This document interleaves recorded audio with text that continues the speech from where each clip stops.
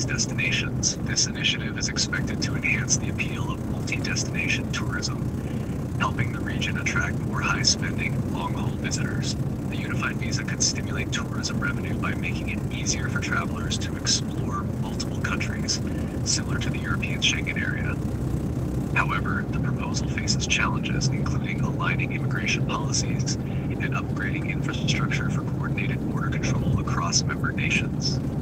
Experts suggest that while a regional visa could provide economic resilience, its, its implementation may be a long-term goal due to the administrative and logistical complexities involved. The idea has seen renewed interest focus on economic recovery post-pandemic.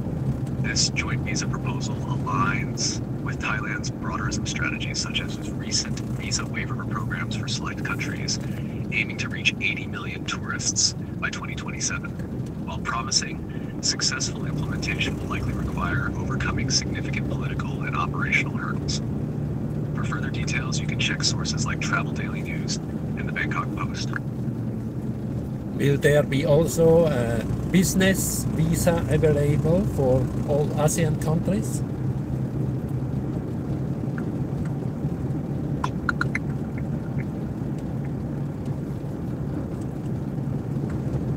There's no official ASEAN business visa yet, but discussions on a unified ASEAN visa are ongoing, aimed at facilitating both tourism and economic growth within member countries. The ASEAN Common Visa proposal is initially focused on tourism, covering a subset of countries including Thailand, Vietnam, Cambodia, Laos, Myanmar, and Malaysia. Uh, expanding this to a business visa could enhance regional economic integration by making it easier for business travelers to move between ASEAN nations, though no timeline for such an initiative is confirmed. What do you know about the benefits for foreign residents in uh, Cambodia?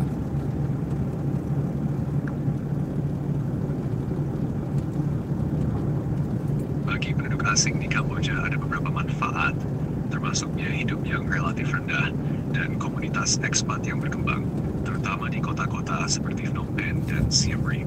Penduduk asing juga dapat menikmati peluang investasi di sektor pariwisata dan properti dengan beberapa kebijakan ramah investor yang mempermudah proses kepemilikan aset. Selain itu, iklim tropis dan pemandangan budaya serta sejarah yang kaya uh, membuat Kamboja menjadi tempat yang layak untuk tinggal dan bekerja. Please, in English, uh, what you know about the benefits for residents in Cambodia?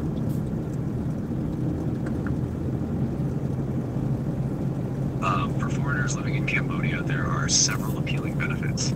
The cost of living is affordable, especially for housing, food, and transportation, making it easier to maintain a comfortable lifestyle. Cambodia also has a growing expat community, particularly in cities like Phnom Penh and Siem Reap, where residents enjoy diverse social networks and support.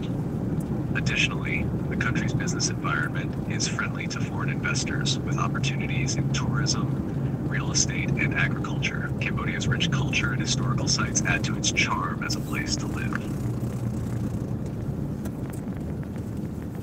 Uh, what do you know about re- retirement for foreigners in Cambodia? Some benefits?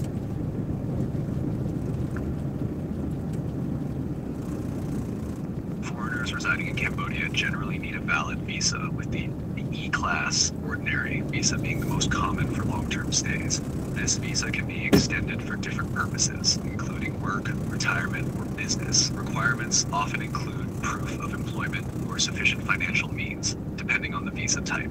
Benefits for foreign residents include a low cost of living, access to investment opportunities in sectors like real estate and tourism, and a relatively relaxed regulatory environment for setting up businesses. Cambodia's rich culture and friendly communities also add to its appeal for expats.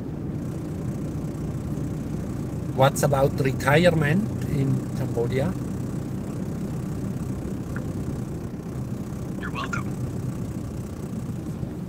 For uh, old, older people to retire in Cambodia?